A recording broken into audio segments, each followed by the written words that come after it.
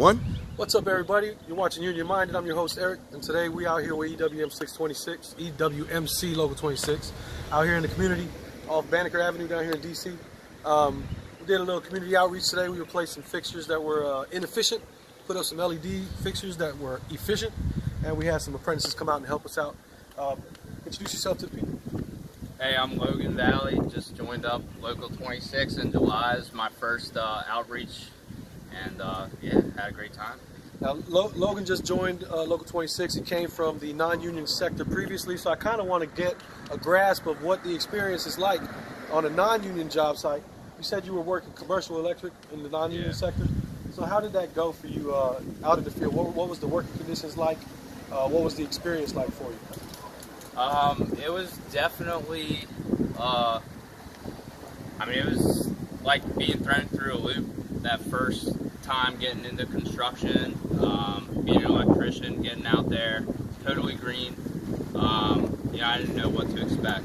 Uh, conditions were okay. I mean, they were pretty subpar, and then COVID hit, so a lot of conditions changed. Right. They had to be a lot more uh, stringent with cleaning. They provided more, you know, toiletries. We Yeah, were finally able to wash our hands, stuff so like you weren't that. able to wash your hands Weren't pre-COVID.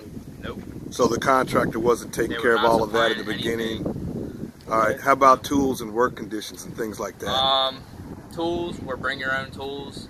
Uh, you had to supply your own bandsaw, uh, your own portable, you know, drill, Now, that's a large that's a large expense on a, on a worker to have to come in and provide your own power tools. and then probably have to secure it yourself. They didn't provide gang boxes or anything like that.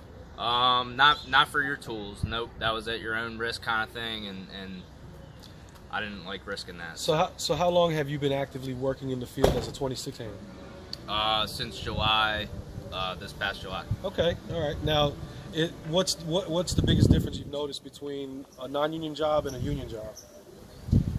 Uh, immediately, just the demeanor, uh, how I'm being treated now um, by the GCs, by the other trades. Right. Uh, just seems like there's more of this respect, uh, more of a uh, community feeling How at the job about, site. how about the safety culture? A lot better. safety is much better. Mhm. Um, everything is supplied. That's another thing. You're only supplied, or I was only supplied uh, my first set hard hat, safety glasses, uh, and gloves. Mhm. The rest was up to me. They wear out. You know, that's on me.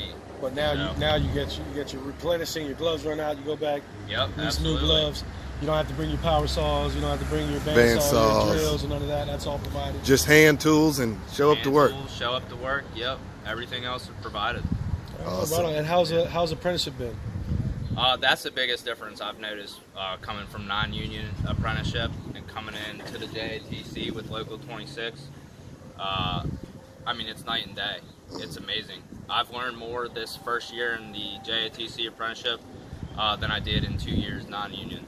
So it is definitely a different as far as uh, the quality of instruction you're receiving Absolutely. as a non-union apprentice versus a union apprentice. You feel it gives you more confidence than you had before Oh, because yeah. they're actually giving you something that you could use in the field. Yeah, absolutely. And I'm actually getting that opportunity now to take what I'm learning in the classroom and apply it in the field. And I mean, that's just helping me uh, grow in ways that I wasn't before. Right on, right on. Awesome. Well, I wish you the best of luck. Keep Appreciate your it. nose to the grindstone, keep the work going, and make sure you put the movement first because that's what it's all about. Absolutely.